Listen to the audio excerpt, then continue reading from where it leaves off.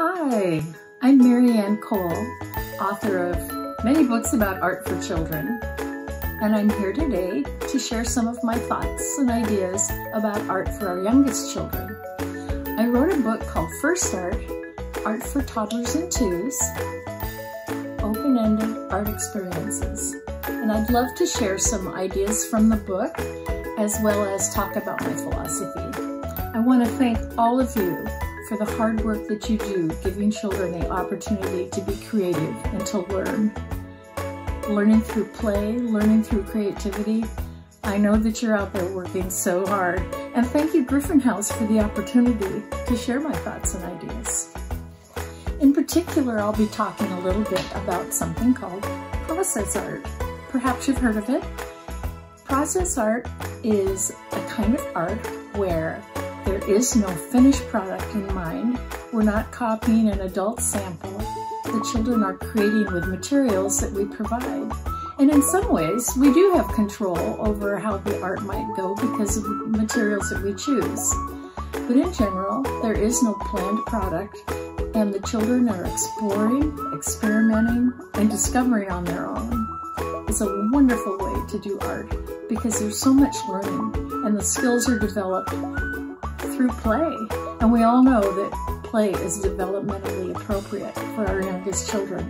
And that's why process art is also developmentally appropriate.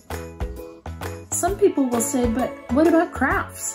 Crafts are good. Crafts follow directions.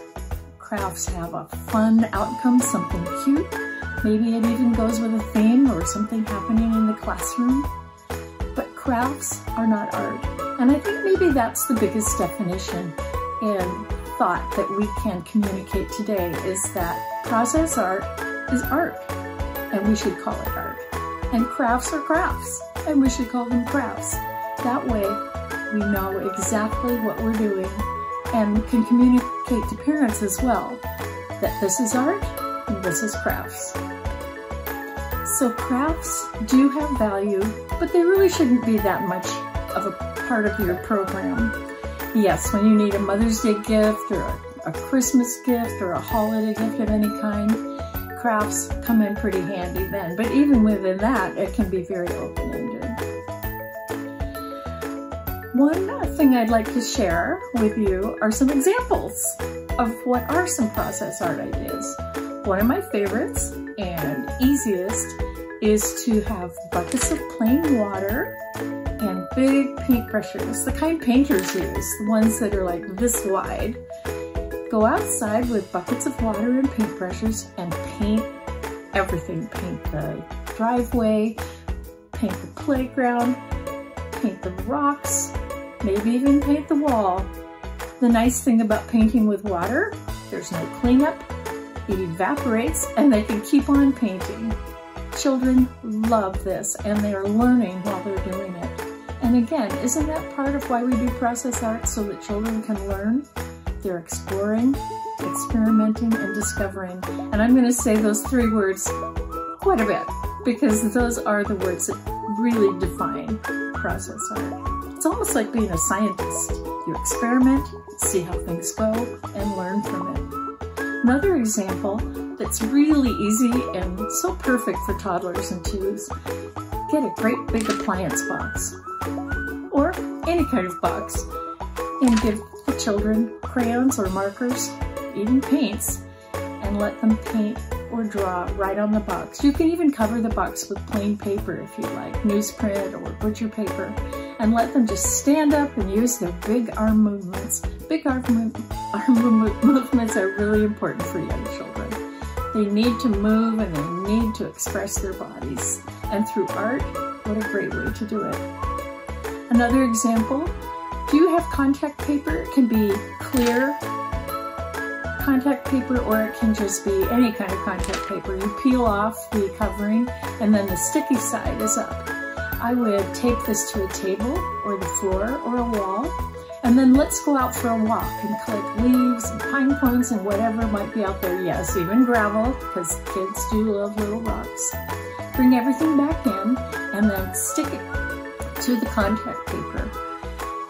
If it's a clear contact paper, you can eventually hang it up in the window Is that a product or is that just display?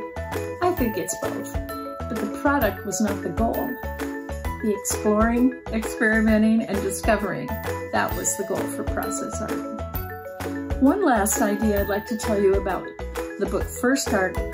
One of my favorite things in the book is several pages called 22 Homemade Paint Recipes. And they are wonderful.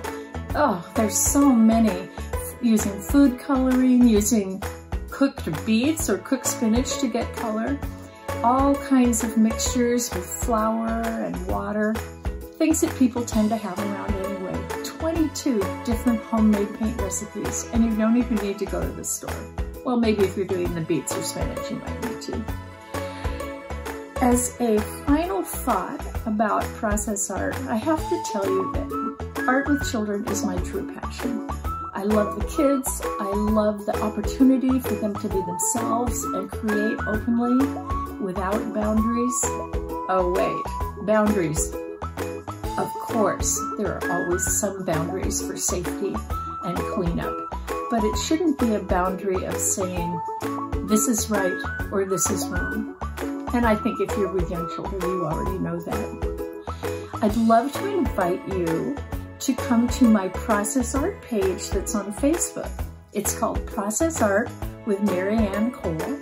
And every day, our members are sharing the most amazing process art ideas, usually through photos or videos. I am blown away every day by what I see. We also have an opportunity in that group to ask questions and help each other. We have a wonderful time together and please join us. Process Art with MaryAnn Kohl. Thank you, Gryphon House. I had a wonderful time sharing my philosophy about process art, and I hope everyone will think it over. If you haven't heard of it before, come join us at Process Art with MaryAnn. I'm happy to be here and happy to share the book, First Art, Art for Toddlers and Twos. Thank you again. I had a wonderful time today.